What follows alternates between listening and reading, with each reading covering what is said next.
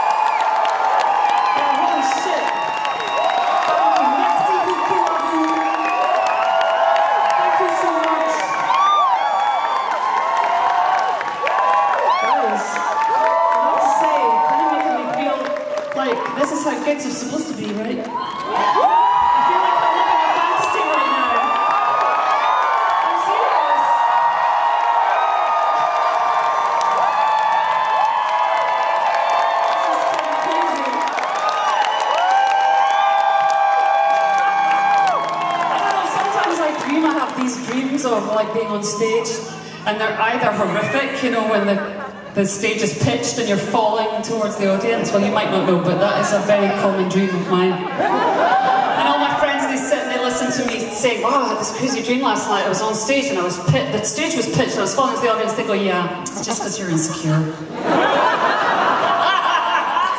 And then occasionally I have these dreams, which are what I call my ecstasy dreams, and they're just like this.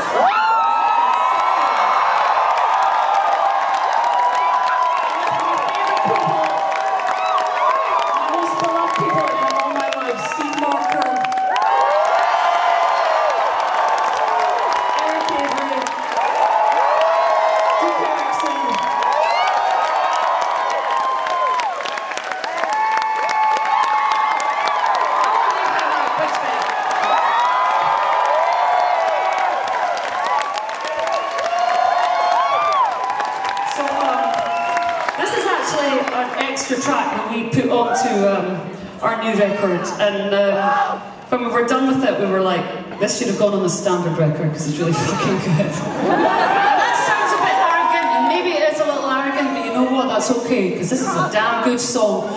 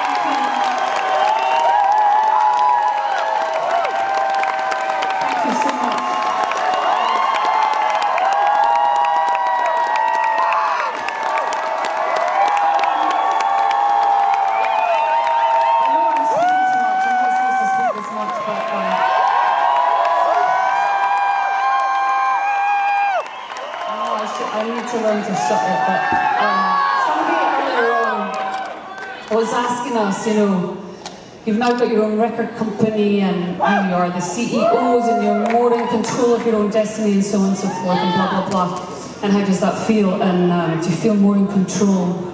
And um, all of us here in this band understand that you're not in control of anything, ever. And uh, that's just how it is, that's how life is. However, what is amazing about having our own record company is that we can judge for ourselves how good our music is. Uh,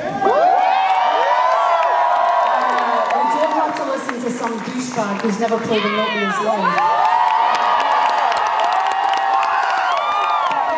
His own office, his own computer, he gets half a million a year and he gets to call himself an A&R guy. Um, and uh, this next song is a, a song that our record company didn't deem good enough. And uh, they were just like, yeah, it's just not a very good song. And we were like, okay. And uh, we put it on our record anyway, but the record company were kind of pissed at us and they just thought we were no, we were just a bunch of losers and they just kind of turned their back on us. And uh, every time I sing this song, every night, everybody knows every word. And I'm thinking to myself, this is a crappy song, is it, you fucking douchebag?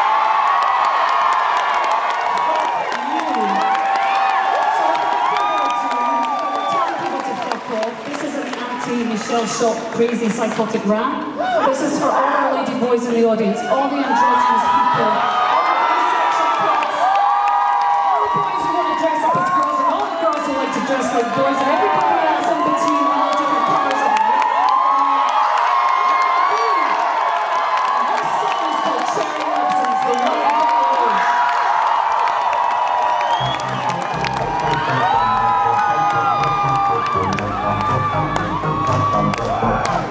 She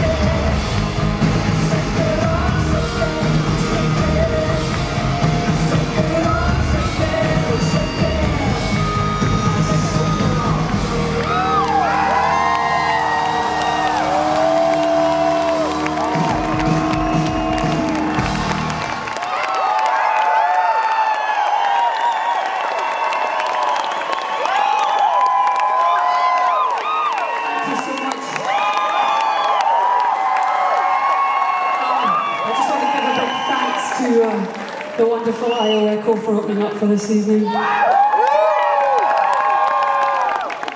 got to confess, I've kind of fallen in love with Iowa. Just saying.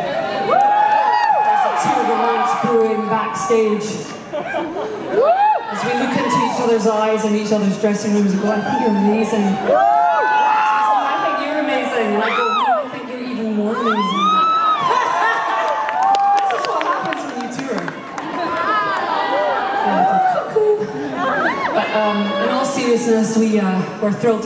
tour with us. And uh, there's big things happening for them, and it's just amazing to be part of that wave as they ride it into their own career and their own lives and their own adventures. So, love to them. And, uh, this is um, the first love song we ever wrote.